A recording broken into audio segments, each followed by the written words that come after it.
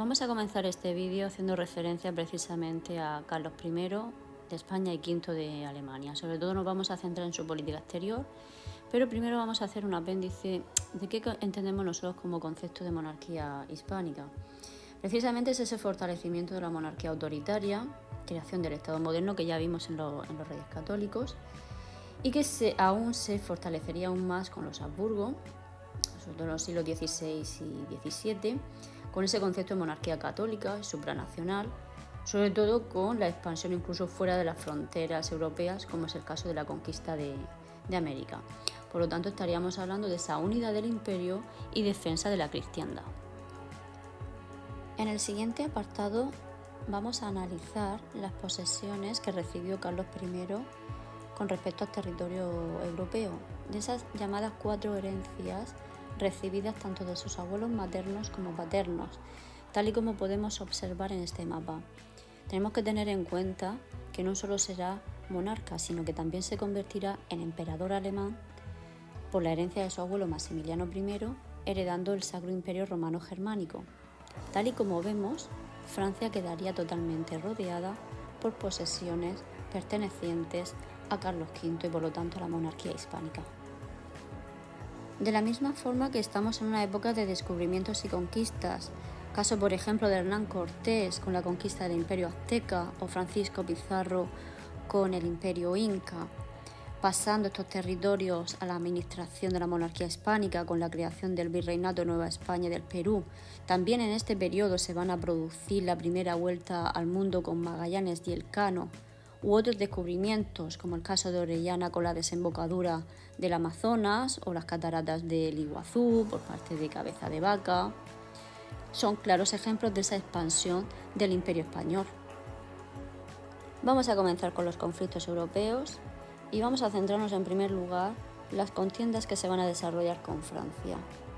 Precisamente esta rivalidad aparece poco después de la proclamación de Carlos V como emperador.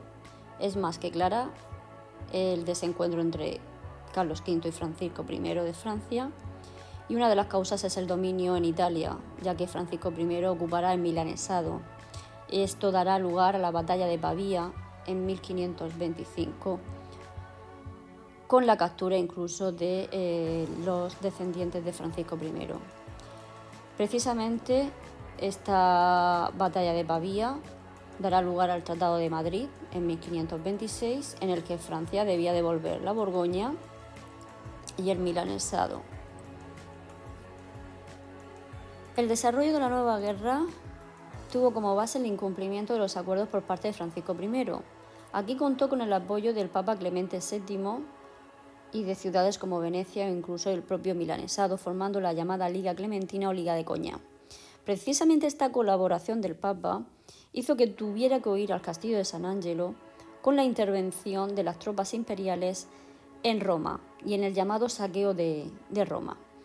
Esto daría lugar a la paz de Cambrai en 1529, en el que Francisco I reconocería el dominio del emperador sobre Flandes y Artois, aunque no de la Borgoña, y renunciaría a sus derechos sobre Nápoles y Milán. De nuevo vuelve a ser Milán el detonante de esta tercera guerra, debido a la muerte sin sucesión del duque de Milán Francisco de Sforza, y ya inmediatamente recaía el ducado en Carlos V. Fue necesario eh, la colaboración por parte de Francia de los turcos. este acuerdo preocupó bastante en Europa, dando lugar a la tregua de Niza, en el que se reconocía el poder de Carlos V en, Italia, pero a cambio entregaría Saboya y el Piamonte a Francia.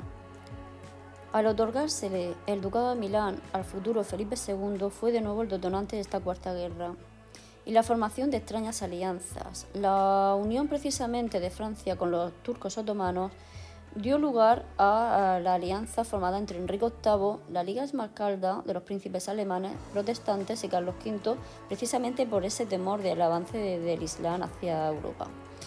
Varios van a ser los frentes que se van a desarrollar en esta guerra, ya que las ofensivas franco-otomanas provocará que en el caso, por ejemplo, de territorios como el Rosellón o el frontera cercana a los Pirineos, pues actuará pues, el condestable de Castilla para defender el territorio de Navarra o en la zona catalana el duque de, Alba. La resistencia de los Países Bajos no impidió la pérdida de ciertas zonas de influencia a favor de los franceses y el avance de los turcos otomanos en el caso continente con Solimán y en la zona del Mediterráneo pues acciones de eh, los piratas como el caso de Barbarroja. La respuesta inmediata de Carlos V fue la invasión de Francia y esta invasión, con la llegada del ejército imperial y la colaboración de Enrique VIII y de la Liga de Mascalda, supuso la retirada de los franceses y la aprobación de la llamada Paz de Crepy, en la que se devolverían los territorios conquistados y también habría una posible colaboración con Francia en la celebración del Concilio de Trento para reducir la influencia del protestantismo alemán. Otro de los grandes problemas que van a aparecer en la política exterior de Carlos V precisamente es el problema del imperio turco. Y es que el avance de los otomanos, tras la batalla de Moax, supuso el avance hacia Europa Oriental. Las tropas de Solimán el Magnífico asediaron Viena, aunque fueron rechazadas por Fernando I de Austria, que obligó a este a levantar sitio en dicha ciudad. Y siendo derrotados por las tropas imperiales que reconquistaron parte de Hungría, e incorporándola a las posesiones de los Habsburgo.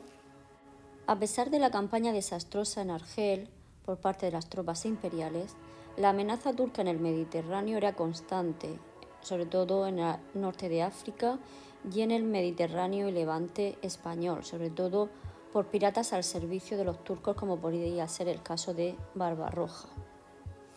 Fue primordial, por lo tanto, la campaña realizada por Carlos V para reconquistar de nuevo Túnez y alejarla de la acción de los piratas.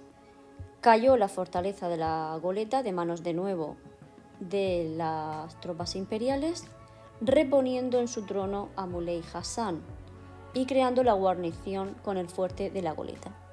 Y como último punto nos centramos en la aparición del protestantismo en el imperio alemán, que supuso no solo la división del imperio, sino también de la propia Iglesia católica. Y es que el origen estaría en la publicación de las 95 tesis de Lutero que cuestionaba los dogmas de la Iglesia católica, sobre todo relativo a las indulgencias. Por el edicto de Worms, Lutero es declarado hereje pero el apoyo por parte de ciertos príncipes protestantes darán lugar a la formación de la Dieta de Habsburgo, que supuso la ruptura religiosa que se iniciaría en torno a 1531, con la formación de las dietas de Spira y Worms. Los príncipes protestantes formarían la llamada Liga Esmascalda y se enfrentarían a Carlos V en la llamada Batalla de Mühlberg. Batalla desarrollada en 1547 y que supuso la derrota de la Liga pero esto no impidió que años más tarde, con la colaboración de Enrique II de Francia, los príncipes luteranos se levantaran de nuevo, derrotando esta vez a Carlos V, y que éste tuviera que reconocer la llamada Pacta de Augsburgo. Por lo tanto, se declararía la libertad religiosa en el imperio por parte de los príncipes protestantes y sus súbditos. A partir de esta fecha de 1555, Carlos V se retiraría al monasterio de Yuste, abdicando a favor de su hijo Felipe II.